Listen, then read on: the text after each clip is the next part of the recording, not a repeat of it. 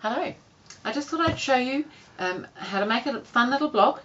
This is called spools because if you look at it it kind of resembles a cotton reel or a cotton spool um, and I've used two and a half inch strips and squares to make it and I've used a little stripe across the centre here which kind of indicates the thread if that's what it was going to be. Um, so I thought that was a fun little block. Um, of course if you turn it that way it kind of resembles almost a bow tie but we're going with spools today. Um, so I'm just going to show you how to make that.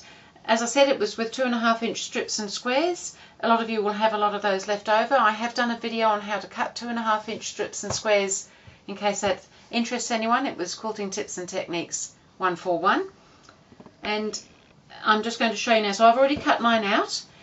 So instead of just using squares all the way along and some half square triangles there, I've cut this end as a strip and this end and then these are squares through the middle and squares that we've put on to form our diagonals there. So we, we had two of these for the spool, I'm making a green spool this time, that are cut six and a half inch long by two and a half inches wide and we need some two and a half inch squares of our background.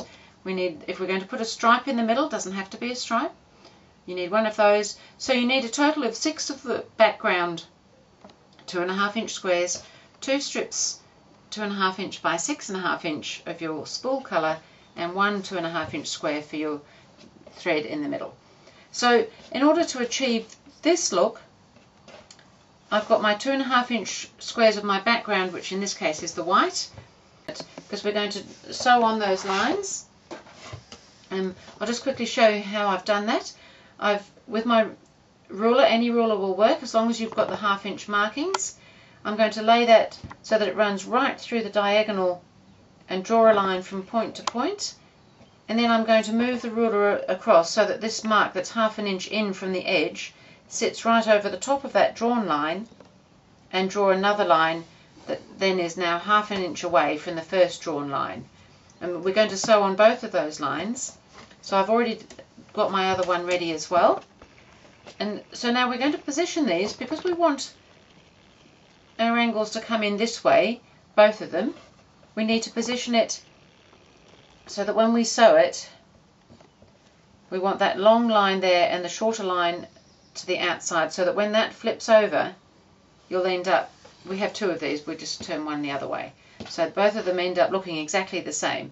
So you need to pop your triangle on there and sew your, your long line.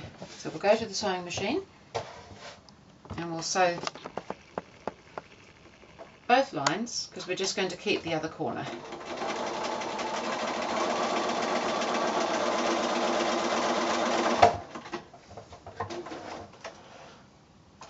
So while I'm here I'll do the other sewing line. Now if you were doing um, quite a few of these blocks of course you could chain piece these through today I'm just showing you on one. So I've drawn both my lines there. Sorry, sewn both my drawn lines there.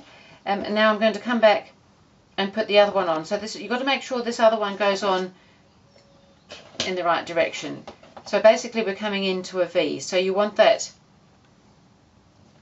so that your line, this line has come in that way and this one's coming in that way. And now we're going to go back to the machine and sew that line.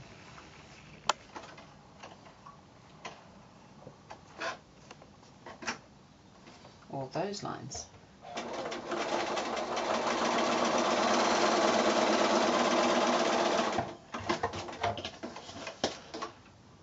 And we'll come back and do the other line while we're here.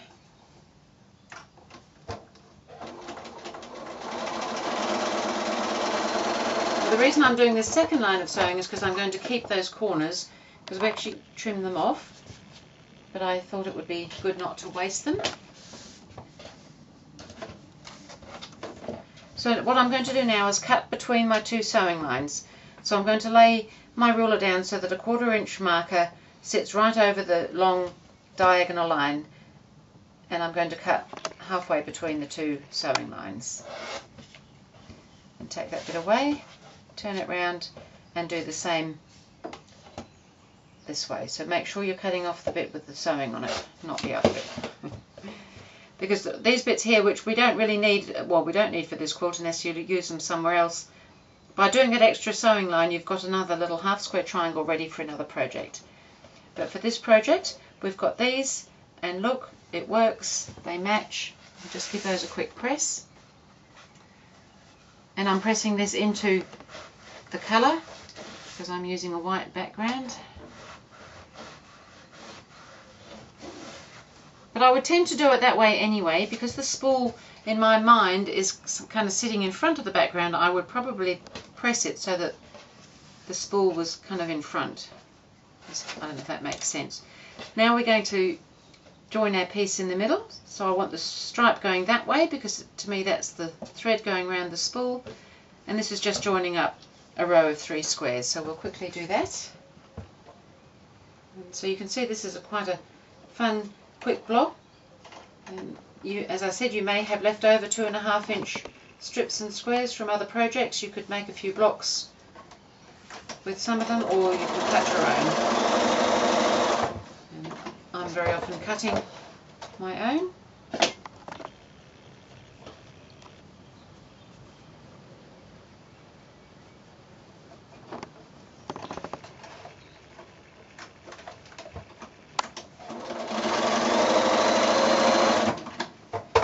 So there we've got a little bit in the middle and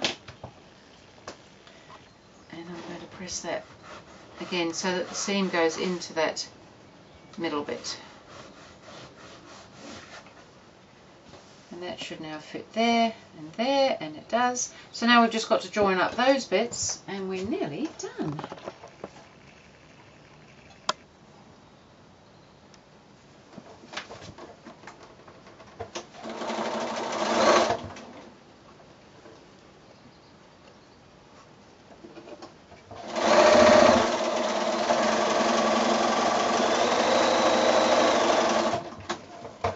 And if you were doing several, of course you could chain piece these.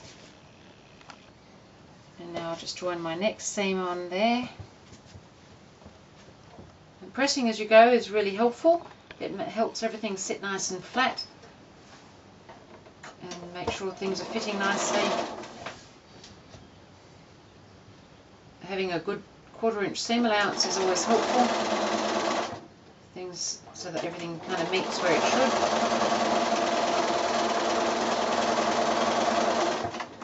It's always a little bit of a mystery as to whether it's meeting where it should or not until we've pressed it.